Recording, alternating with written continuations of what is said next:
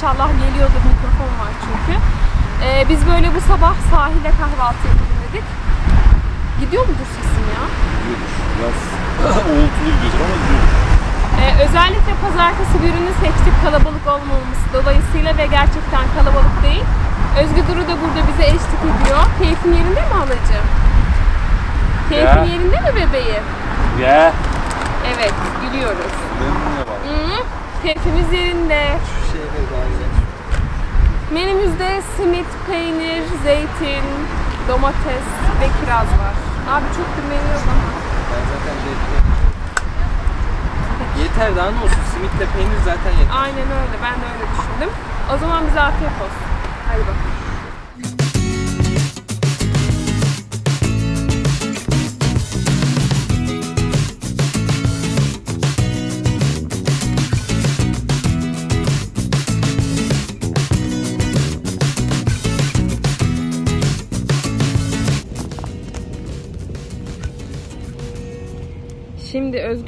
Birazcık yürüyüş yapıyoruz arkadaşlar.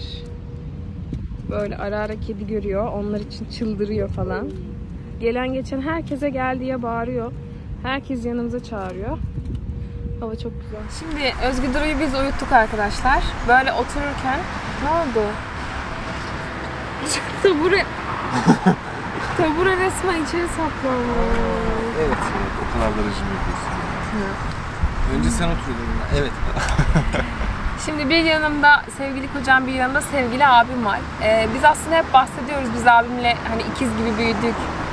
Böyle çok komik, cringe anılarımız var diye ve şimdi bütün gerçekler gün yüzüne çıkacak arkadaşlar ve ben küçükken yaşadığım abi tarafından gördüğüm tüm psikolojik şiddetleri şu anda Ya. anlatacağım. Bir şey söyleyeceğim. Geçen söyleme sahip Seda ile böyle muhabbetler geçti. Tamam birdenbire açıldı. Seda bir hikaye anlattı. Gerçekten gülmekten altına yaptı. Hangisini anlattın? Söyleyeyim mi onu burada? Hangisi? Bisikletini vermemiş sen dönmüşsün. Ben hatırlamıyorum. Şimdi %50'si zaten hikaye tamam mı? Hayır. Seda benden küçük olduğu için hayal dünyası daha geniş tabii ki. O yüzden Bunu annemler de anlatıyor ama. beni Şimdi ben, dövmüş. ben hatırladım. Seni dövmedim. Seni dövmüyor. Sen, birinden bisiklet isim istiyorsun. vermiyorum. Sen birinden bisiklet He. istedin, vermedi. Ben de onu dövdüm, bu da ağlıyor. Bunu da tuttum elinden. Ne ağlıyorsun yere getirdim. Çok küçüktüm ben. Dövdüğüm kişi de erkek ve benden büyüktü yani. Neyse arkadaşlar. Şimdi biz küçükken ciddi anlamda ikiz gibi büyüdük. Abimle aramızda tam 1 yaş 20 gün var. Yani abim 1 yaşına basmış. Özgü Duru'dan bile küçükmüş. Aa, Evet. Özgü Duru'dan bile küçükmüş ben doğmuşum. Ay anneme helal olsun arkadaşlar. Burada takdiri annem hak ediyor. O yüzden biz böyle hep beraber büyüdük abimle. Ama beni hep abla sanıyorlardı. Ee, Hayır küçüklük resimleri falan Çünkü var Seda'nın gerçekten. boyu benden uzun yani. Şu anda öyle Evet. galiba. Şu an öyle değil be. Şimdi ben uzunum. O zaman Seda uzundu. Abi şimdi ayağa kalk, kalkmıyor. Seda boyun kaç? Biri- Kalk abi. Allah aşkına. Çukur mu burası? Tamam aynı yerde duralım. Kesinlikle Kamerada Seda uzun. kafamız almıyor ama. Kesinlikle Seda uzun. Ama çukurdayım ben. Hiç canım ya. Evet hem benim boyum uzundu hem biraz daha yapılıydım. Hem e, abime karşı sürekli bir korumacı tutumum olduğu için abla gibi algılanıyordum. Dışarıdan bakan birisi hani bu kız bunun ablası herhalde diyordu. Ama bak küçük bir fotoğrafı varsa buraya koy oradan anlaşılır yani. Evet. Mesela dans ederken fotoğrafımız var. Evet tane. onu koyacağım gerçekten hani ben abla gibiymişim yani. Bu Evet. kaderim bu arkadaşlar. Hani şu an ben ablamdan da büyük gösteriyorum. Ablamla aramızda kaç yaş var? Bu benim kaderim bu büyük göstermek. Ee, ben şimdi küçükken ben böyle biraz şeyimdir. Bende bir merhamet duygusu bir tık daha fazla normal insanlara göre. O yüzden böyle atıyorum dondurma aldığım zaman ee, abim yok mesela yanımda ve ben uzak bir yerdeyim. O dondurmanın yarısını yerdim, yarısını yemezdim abime bak götüreceğim diye. Böyle dondurmalar elimden aka aka eve gelirdim. İnanır Ben mısınız? dondurma aldığım zaman yarısını da yemezdim. Hepsini getirirdim. Hayır. Evet. Yarısını Doğru yemezdim. Yarısını yermiş yarısını da Hepsini çöpe atarmış. Yermiş yermiş mesela bitiremedi mi? Eve gidince Seda bunu kesin Ama niye? benden ister diye Hayır. çöpe atarmış. İster diye değil. Az kalıyordu mesela. Abi yalan Şu söyle. kadar kalıyordu. Hani canı ister. O da yetmez ona diye çöpe atıyordu. Ama bak şey Hızlı hissi, hızlı yiyorum. şey Ama hissi var ben onu tebrik yemiyordum. ediyorum. Yarısını bırakıyormuşsun yani. Biraz bırakıyordum tabii de Evet. ama kendime hakim olamadığım için bayağı hepsi yani çoğunu yiyordum %75'inde. o İşte azıcık ben- bıraktığım için de o görür canı ister. E, o kadar az da yiyince hani şey olmaz diye. Ben de nefsimi tutuyordum yemiyordum artık. Peki şunun şunun cevabını verecek misin? Hatırlıyor musun? Yavuz Selim'e gidiyorduk yürüyerek. Hep kavga ediyorduk ya. Hep kavga ediyorduk arkadaşlar. Bir gün yolda yine kavga etmişiz. Bakın Kaç olaya bakın. İşte 6'ya 6'ya 7'ye falan falan gidiyoruz. gidiyoruz. Bir gün yolda yine kavga etmişiz. Ee, bir tane teyze de neden öyle bir şey yaptı bilmiyorum. Bizi durdurdu. İki tane şeker verdi abi. Dedi. Ha, beraber yiyin dedi. İki tane şeker verdi abime. Ve abim biz kavgalıyız diye açtı ikisini de ağzına attı. Sonra Ve sana o şeker, şeker- almadın mı benim? Ama kav- kavgalı normal bir şey Seda. Ha, Kavgalıymışsınız kavgalıydık yani. Ama Kavgalıyken ben de abime hiçbir şey sürekli vermezdim. kavga ederdik. Hayır ben işte öyle o okul yapamam. yolunda sürekli ya ablam ikimizle kavga ederdi ya da işte bir, yani iki kişi bir kişiyle kavga ederdi. Hatırlıyor musun? Ama sürekli. o, o zaman ablam yoktu. Ablam artık liseye geçmiş. Ha. Biz seninle beraber Ablam varken yürüyoruz. de kavga ediyorduk ama. Tabii. O şart. Kardeşler arasında hep olan şeyler. Öyle yaptı yani arkadaşlar. Ayrı ayrı yürürdük. Yol bir de uzun ya. Yavuz Selim yani düşün. Sık sabahın köründe 15 de niye dakika. kavga ediyorduk abi? Ne bileyim kavga ediyorduk. Gıcık Şimdi arkadaşlar helikopter geçsin. Ee, biz e, abimle, abim ablam ben hep ortaokulda aynı okula gittik. Ve abim 8. sınıfken otomatikman ben 7. sınıf oluyordum. Ama bu hikayeyi anlatırken kaça gidiyorduk bilmiyorum. Büyük ihtimal sen Altıya 5'e, gidiyorduk. 6'ya, ben, Ben de altıya 5'e gidiyordum, Seda falan. beşe. Evet. Ee, şimdi abimlerin sınıfında bir kız vardı. Herkes bana aşık ol Hani böyle kızlar vardır ya herkes beni seviyor, herkes bana aşık tarzında olan kızlar. O kızlardan bir tanesi. İzliyorsa kulakları çınlasın, izlemez de havasından. Ee, niye kıza laf soktu şimdi? Gıcık olmuşum ya bir kere. Şimdi bu kızın sevgilisi varmış arkadaşlar. Ve bu kızın sevgilisinin kulağına şöyle bir şey gitmiş. Murat bu kızı seviyor. Aslında öyle bir şey yok. Ee, ama öyle bir şey yok yani. Tamamen kızın şey psikolojisi. Herkes beni seviyor psikolojisi.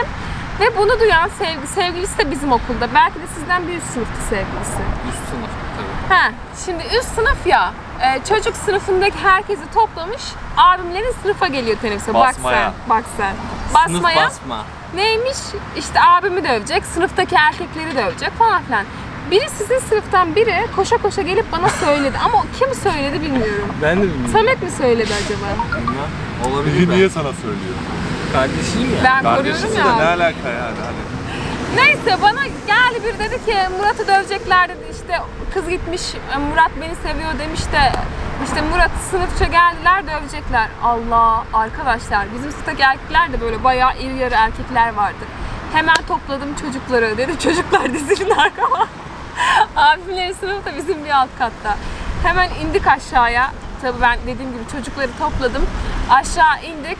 Orada e, hemen böyle şey zaten abimin sınıfındakiler diğer çocukların sınıfa girmesine engel oluyor. Seni koruyorlardı. Engel oluyor, sokmuyorlar. Bir de bizim sınıftakiler gelince çocuklar hiçbir şey yapamadı. Sonra zaten zilmil çaldı, çıktık gittiler yani. Abim de böyle korumuşluğum var. Teşekkür ediyorum. Ee, beni kaç kere dayaktan kurtardın. Ben olmasam sen çok dayak yermişsin. Sen Aa, anlat bir anımızı. Komik bir anımızı anlat abi. Komik anıyı hatırlamıyorum da şeyi Ben niye o gün o kızı dövmemişim? Asıl o kız dayak istemiyor muymuş? Böyle süt içerken bir koltuğun bir ucunda ben yatardım, bir ucunda Seda Evet yatardı. ya. Ayaklarımızla bisiklet yapardık böyle. biz de yapıyoruz. Onu hep hatırlıyorum. Aklıma Abi bir de bir geliyor. şey söylüyorduk. Bir de Seda bir Bisiklete kere bindim. Seda bir kere dişçi e, macerası yaşadı. Onu anlatayım size. Onu anlattılar. anlattılar. Aa, o, o anlatmadım. O en rezil anımdır. Seda'nın dişi böyle çıkmak üzere. Yani dokunsak düşecek. Evet ya. Babam diyor ki hadi dişçiye gidelim diyor. Seda tamam diyor. Gidiyorlar dişçiye. Seda dişçide vazgeçiyor. Ay koltuğa oturuyorum. Dişçi amca başıma geliyor. Ağlıyorum ben vazgeçtim eve gideceğim. Sonra eve geliyorlar tekrar. Sonra dişçiye gidiyorlar. Seda diyor ki ben vazgeçtim korkuyorum diyor. Ağlıyor eve geliyorlar. Tekrar gidiyorlar tekrar geliyorlar. Üç kere mi gittiniz? Üç, üç kere gittik geldik artık dördüncüde Dördüncüde babam artık Aynı gün oluyor çıldırdı. bu, bir saat içinde. Haklı olarak. Sonra evde annem ipi bağladı. Hayır babam beni İpi- evde dövdü. Onu söylemeyecektim. Söyleyeyim babamı linç Ama edin arkadaşlar. etmiş. Babamdan bir kere bir- öyle büyük bir dayak yedim. O da o zaman. Ama hak ettim. Ama gerçekten Evet hak ya. etmiş. Ya ben yani. olsam ben de o Üç çocuğu kere gidip döverdim gelinir yani. mi ya? Neyse annem ipi bağlayacak dişini eskiden öyle çekerdik ya dişleri iple. Bağlarken dişi düştü diye hatırlıyorum. Evet. Abi kadar ben basit senin yani. dişini çektim hatırlıyor musun? Çok çekmişsindir de net olarak hatırlamıyorum. Hayır nasıl çektim? Sen abimin de yine bir dişi sallanıyor. Hı. Annem sana yalvarıyor Murat oğlum gel ne olur falan filan. Sonra sen bir şekilde ikna oldun. Annem de senin dişine ip taktı.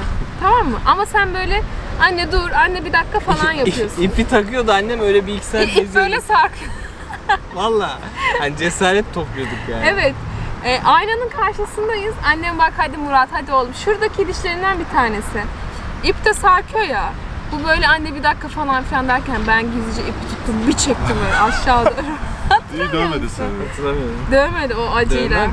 Ama zaten çıkmak üzereydi ya direkt çıktı yani. Ya zaten çocuk dişinde ne olacak? Dokununca düşüyor. Evet ya abi ne, Öyle. ne tuhaf şeyler. Uyanırdık ağzımızda diş. Gece çıkmış olurdu. Hatırlıyor musun? Özgür'ün dişleri ne zaman acaba? Daha var. İlkokul zamanlarında. Evet öyle işte arkadaşlar. Evet, güzel bir çocukluk geçirdik yani. Güzel. Yani bizim hiç arkadaşlarımız olmasa da ki çok vardı. Yine kendimizle eğlenebiliyorduk ama biz sitede şu an oturduğumuz sitede büyüdüğümüz için aşırı çok arkadaşımız vardı yani. Evet.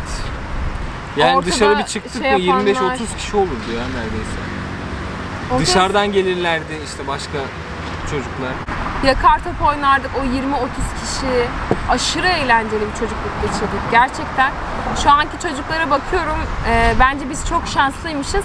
Ve Stop son mu? 90'la 90'ların çocukları bence en son şanslı çocuklar bu Bahadır. Ne dersin? Yani Şimdi siteleşme olayları Mer- başladıktan Mert'e sonra bak, bitti o iş yani. Mert'e bak, Evet. Zehra'ya bak. Hiçbiri bizim Telefon- çocukluk telefon oynayamadılar. başladı. Milenyum çağından sonra o çocukluk bitti. Evet. Yani O 2000'den yüzden gerçekten üzülüyorum. Özellikle mesela Özgü Duru'nun nesline falan çok üzülüyorum. İnşallah tabii onların devrinde her şey daha güzel Ya olur o tabii ama- biraz da kendisine bağlı yani. Aktif bir çocuk olmak isterse, istediği gezmek kadar- isterse. İstediği kadar aktif Hani olsun. eskisi gibi öyle oyun arkadaşı bulamaz ama hani bazı Evet. insan evde oturur sürekli telefonla oynar, bazısı Bak, da gezer Geçen mesela. Seda'ya da söyledim. Gerçekten eskiden yoksulluk varmış ama eskinin tadı hiçbir zaman unutulmaz yani. Biz şu anki çocuklara göre bence biz daha mutlu bir çocukluk geçirdik. Seda diyor ya 5 lira vermişti dedem diyor. Bir hafta boyunca abur cubur yemiştim. Şimdi 5 Evet liraya ya. bir tane bir şey alıyorsun. Dedem bana 5 lira veriyordu. Bir hafta boyunca o 5 lirayla bakkaldan almadığım abur cubur kalmıyordu. Cipsler falan 25 kuruştu ya. Aynen. Ben hep dedemin verdiği 5 liralar yüzünden kilo. Dondurmalar 10 kuruştu. Niye paylaşmıyordun benimle o beşleri? Aşkım paylaşıyordum işte. Ne alıyorsam yarısı senindi. Şunu takmam lazım. böyle bir- Gözlerim kapandı. Evet. O zaman evde görüşürüz arkadaşlar. Görüşmek üzere. Bay bay. Kapatabiliriz. Sesi aldı mı sence? Mikrofon var ya almış. O mikrofon böyle uzasa şuraya. Evet şimdi biliyorsunuz ki bugün 8 Haziran yani biz bu videoyu pazartesi günü çekiyoruz ve asıl Özge'nin doğum günü bugün arkadaşlar.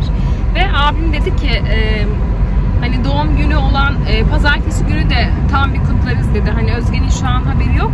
E, o yüzden Özgü şu an abimle birlikte olduğu için abim pastaneye uğrayamayacak. Pastayı biz alacağız.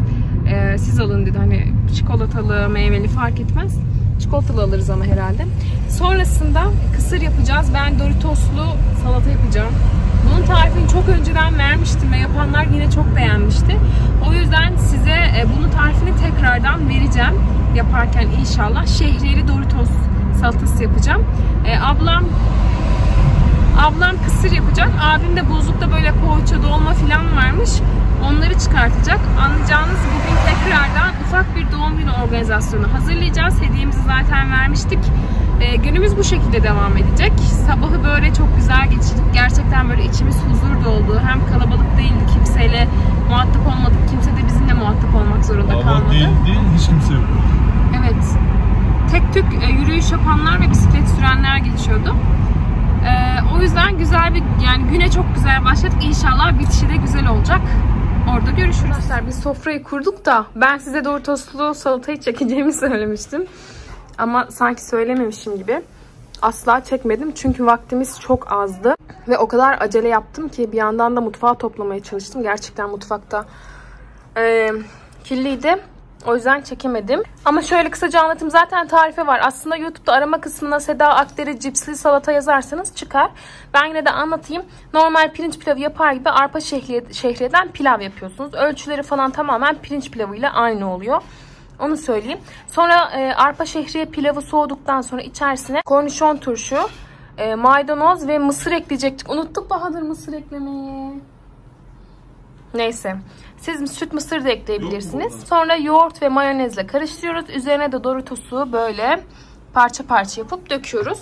Dediğim gibi tarifine bakmak isterseniz arama kısmına Seda Akdere cipsi salata yazarsanız çok çok önceden böyle misafir hazırlığı videosu adı altında bulabilirsiniz. Özge'yi bekliyoruz. Sizce ben bu tülbenti taktıysam şu anda ne yapmak için bu kamerayı açmışımdır? Bunu şu anda üçüncü kere söylüyorum arkadaşlar. Söyleyemedim çünkü. Kapanış yapacağım tabii ki. Ee, çok güzel bir gün geçirdik. Gerçekten bizim için çok güzeldi. Sabah zaten güne o kadar enerjik başladık. O kadar temiz havada başladık. Yani günün kötü geçmesinin imkanı yoktu. Sadece çok fazla yorulduk. Çünkü sahilden sonra bizim Bahadır'la banka işlerimiz vardı. Bu işte ticari durumlar, şirket ile alakalı bir durumlar vardı. Ee, onları da halledemedik ama sürekli koşturduğumuz için bayağı bir yorulduk ve boşa yorulmuş olduk. Tek can sıkıcı olay oydu. Ama onun dışında her şey çok güzeldi. Özge'nin doğum günü de çok güzel bir şekilde kutladık. Ee, o, kısımları zaten ablamın kanalında ve Özge'nin kanalında büyük ihtimalle göreceksiniz. Ben orada çok çekmek istemedim. Hem ablam hem Özge çekiyor diye. Lafı çok fazla uzatmayacağım. İnşallah içinizin açıldığı, izlerken böyle huzur dolduğunuz bir video olmuştur. Ee, farklı video fikirleriniz varsa biliyorsunuz ki her zaman açığım. Videoyu da burada artık kapatıyorum. İzlediğiniz için çok teşekkür ederim. İnşallah daha güzel günlerde, daha güzel videolarda görüşürüz. Kendinize çok iyi bakın. Şimdilik hoşçakalın. Bay bay.